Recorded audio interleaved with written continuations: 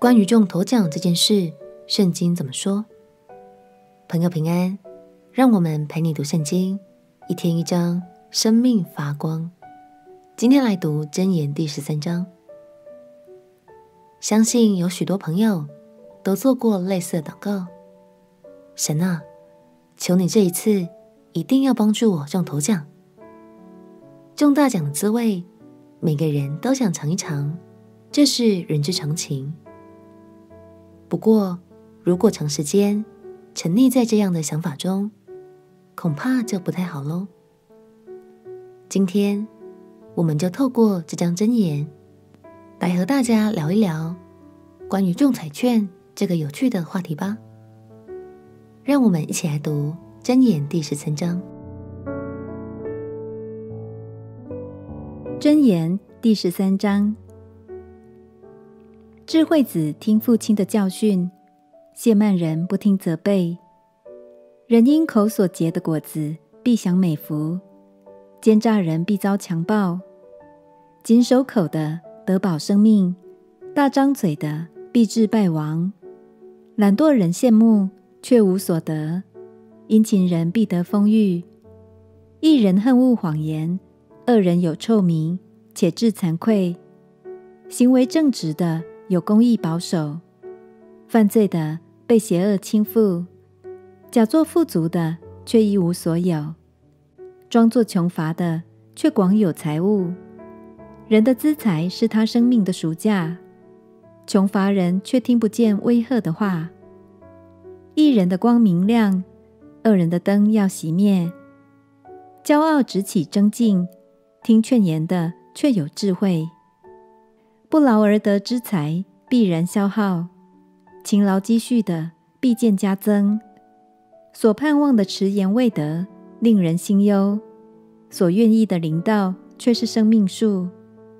藐视训言的自取灭亡，敬畏诫命的必得善报。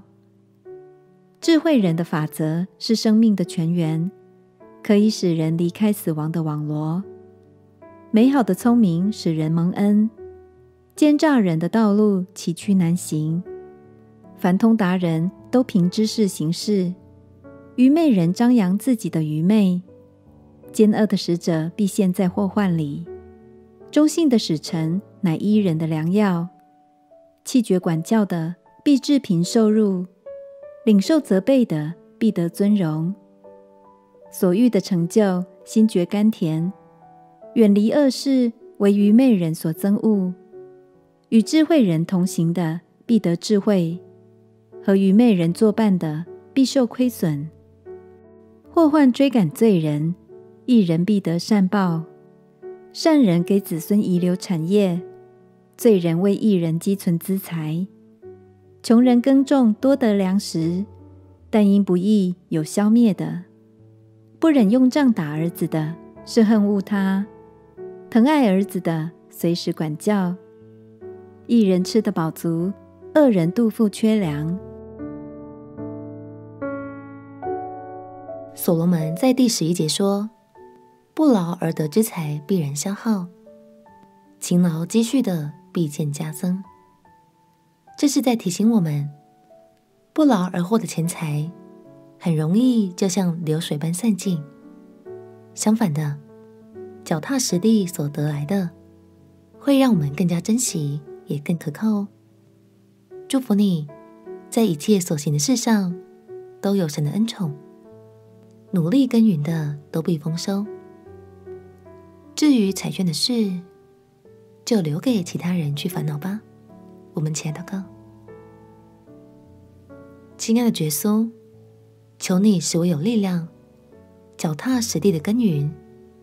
恩典满满的丰收，祷告奉耶稣基督的圣名祈求，阿门。有丰盛的神与你同在，一切的好处他要加倍赐给你。陪你读圣经，我们明天见。耶稣爱你，我也爱你。